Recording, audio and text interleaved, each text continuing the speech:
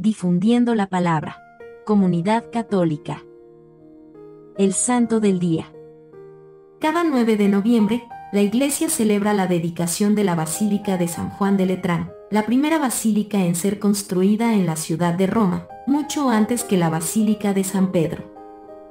Así lo recordaba el Papa emérito Benedicto XVI en noviembre del 2008. Esta basílica fue la primera en ser construida después del edicto del emperador Constantino, el cual, en el año 313, concedió a los cristianos la libertad de practicar su religión.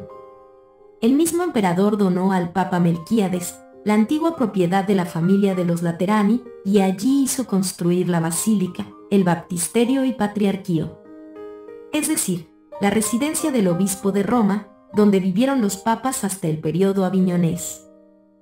La Basílica de San Juan de Letrán fue consagrada por el Papa San Silvestre el 9 de noviembre del año 324. Se le llama Basílica de San Juan porque tiene dos capillas importantes, una en honor a San Juan Bautista y otra en honor de San Juan Evangelista. También se le conoce como Basílica del Divino Salvador, ya que en el año 787, cuando fue nuevamente consagrada, una imagen del Divino Salvador milagrosamente derramó sangre. La fiesta de la dedicación de la Basílica de San Juan de Letrán empezó siendo una celebración local, circunscrita a la ciudad de Roma, pero que luego se extendió a toda la iglesia de rito romano, con el propósito de honrar a la iglesia madre y cabeza de todas las iglesias de la urbe y el orbe.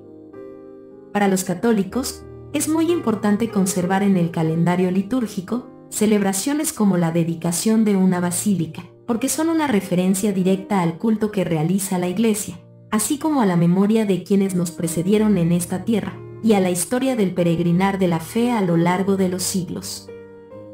Dijo el Papa emérito Benedicto XVI. Honrando el edificio sagrado, se quiere expresar amor y veneración a la Iglesia romana que, como afirma San Ignacio de Antioquía, preside en la caridad a toda la comunión católica. Déjenos su petición en los comentarios. Si le gusta nuestro contenido, por favor, compártalo. Dele un me gusta, suscríbase al canal y active la campanita. Gracias y bendiciones.